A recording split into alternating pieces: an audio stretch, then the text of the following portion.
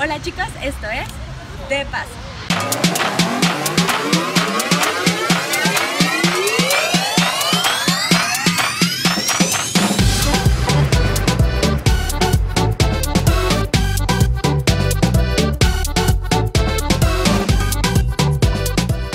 Hola chicos, ¿cómo están? Oigan, vamos a empezar este video desde ya de la presa.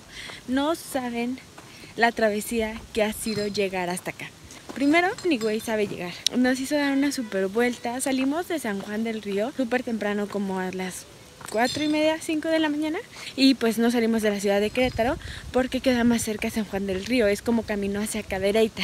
Y después, llegando aquí, eh, como que no hay muchas indicaciones, como que no hay mucha información. Bueno, en los túneles te vas a encontrar vistas preciosas, está súper bonito. Pero después de ellos vas a encontrar dos entradas. La primera, que es donde dice el nombre, vas a encontrar donde dejar el carro y los botes, ahí rentan los botes. Después vas a encontrar la segunda entrada, que es donde se encuentran las cabañas y la zona de acampar, que es donde yo estoy caminando. Antes de seguir, quiero contarles que es muy usual que suba el nivel del agua. Si te llega a pasar, tienes de dos.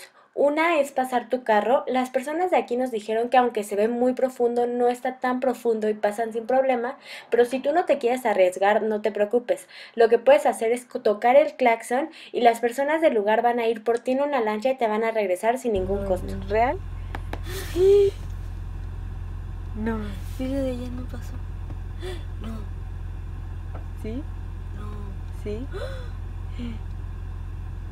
No. Sí. No manches, no manches, no manches, no manches, no manches, no manches. ¿Ya pasó?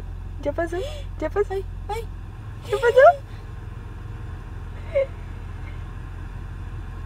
¿Ya? ¿Sí pasa? ¿Qué pasó? No, no, Ah. no, yo no paso. Eh, realmente aquí lo que puedes hacer es pescar, acampar, explorar, pero está un poquito complicado porque como que les digo, no hay muchas señalizaciones. Bueno chicos, actualización. Tuvimos que ir a preguntar aquí al restaurante eh, cómo podíamos empezar a explorar porque de verdad como que toda la zona está cercada. Hay un montón de alambres, entonces si no sabes, te pierdes. O sea, bueno, no te pierdes, pero pues no sabes por dónde caminar. Entonces les voy a explicar. Para poder empezar a como explorar este lugar, tienen que venirse hacia donde están eh, construyendo estas casitas. Las van a ver aquí. Y después, en este árbol donde están las rocas, van a ver esta puertita. Esta mini puertita es la que los deja como ya ir a explorar hacia el bosque, donde van a encontrar los miradores, donde van a poder pues caminar y todo y no nada más estar en esta zona súper chiquita. Entonces, para que lo tengan en cuenta y no les pase lo que a mí, pues ya ahora sí vámonos a explorar. Ya hablaron con la Joe del pasado, ahora les habla la Joe de edición.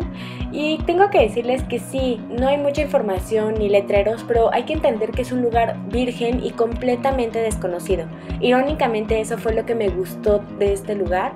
Y bueno, las actividades que pueden realizar aquí es rentar una cabaña o también pueden acampar, pueden hacer un paseo en bote. A mi, a mi manera de pensar está un poquito cariñosito, pero bueno, esto ya es, ah, depende de gusto, ¿saben? También pueden hacer senderismos, que fue senderismos. pueden hacer senderismo, que fue lo que yo hice. Y bueno, para esto tienes que venirte bien equipado. Te recomiendo que traigas botas, pantalón de mezclilla, que traigas agua, protector solar, lentes para que bueno, estés bastante bien protegido. Sí está peligroso porque hay muchas piedras sueltas. No se lo recomiendo para niños, para adu- adultos de la tercera edad, ni tampoco para personas que no les gusten las actividades extremas. Pero si tú eres igual de alocado que yo, estoy segura que te va a encantar. ¿Hacia dónde va, señora? Mira, mijita. Uno que anda haciendo mandas. Yo sí quiero que me hagan el milagrito. Yo quiero que me traigan al novio.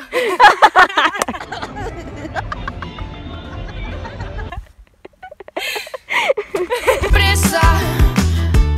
Si pa' mí correr no va, aunque no cueste más, tu ritmo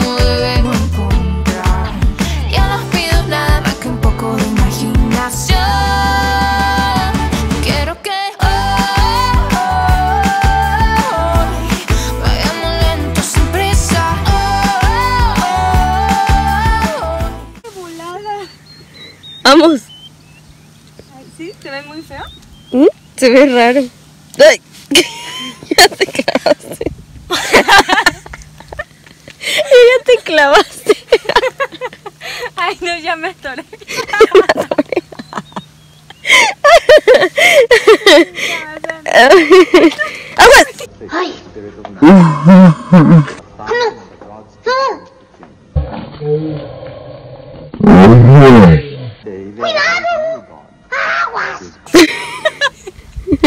Por andarme haciendo la chistosita. Ahora su corazón.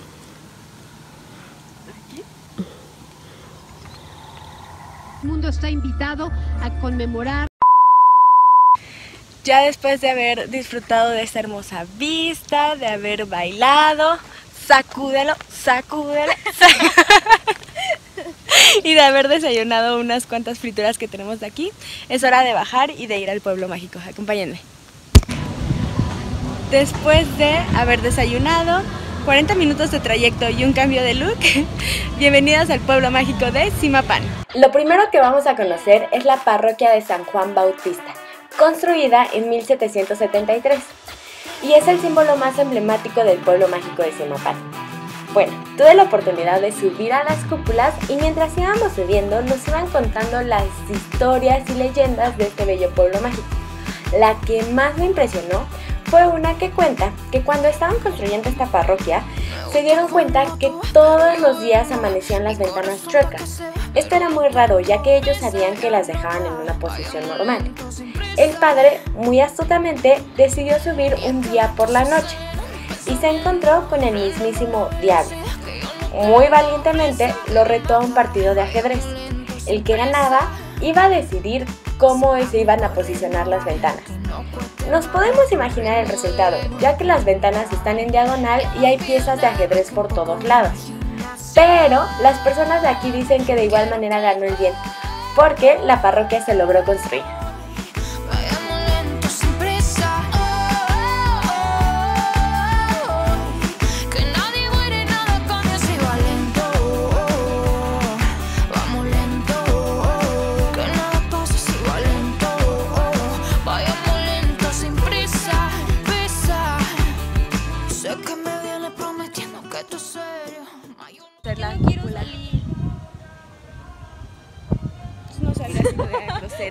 Está. Por TV. Les decía que después de Semana Santa va a poder vivir. No digas les decía, porque lo vas a poner ¡Córtese! Les decía que después de Semana Santa van a poder vivir también esta experiencia y conocer las cúpulas. ¡Cállate, Rosita! Pues a mí me gusta. Tú cállate, Rosita. Si ustedes quieren venir a conocer las cúpulas de esta hermosa parroquia, lo van a poder hacer, pero después de Semana Santa del 2019. Como apenas fue nombrado Pueblo Mágico, están haciendo varios cambios, varios atractivos que van a poder conocer en su visita, pero después de Semana Santa, ya que lo estén mejorando. Llegó el momento de conocer el Sabino, que es el árbol más grande del estado de Hidalgo. Esta disputa con el Tule por ser el árbol más grande de México. La única diferencia es que este tiene nada más un tronco y el Tule tiene tres. ¿Tú cuál crees que debería ganar? Ya te dije que no me olvidara. Ay, mami, yo por ti sufro todavía. Yo que todo te lo di y nada te negué, que mal me lo pagaste. Tú que fuiste para mí la flor de mi jardín, que fácil me olvidaste. Tú no tienes corazón, eres de lo peor, lo peor que he conocido. Él un día te dejará y vas a recordar lo que hiciste conmigo. Oro, no todo lo que brilla siempre es oro. No sé por qué yo siempre me enamoro de la que no me debo enamorar. No sé, no sé por qué será como un clavito en la pared. Tú me olvidaste y me quedé como un clavito en la pared. Me dejaste solo. Y bueno chicos, ya para concluir este video, les tengo al el mirador El Vigilante. Vean qué espectacular vista. Para poder venir tienen que ir de la carretera donde van de la presa hacia el pueblo mágico. Hay una desviación que se llama Saucillo.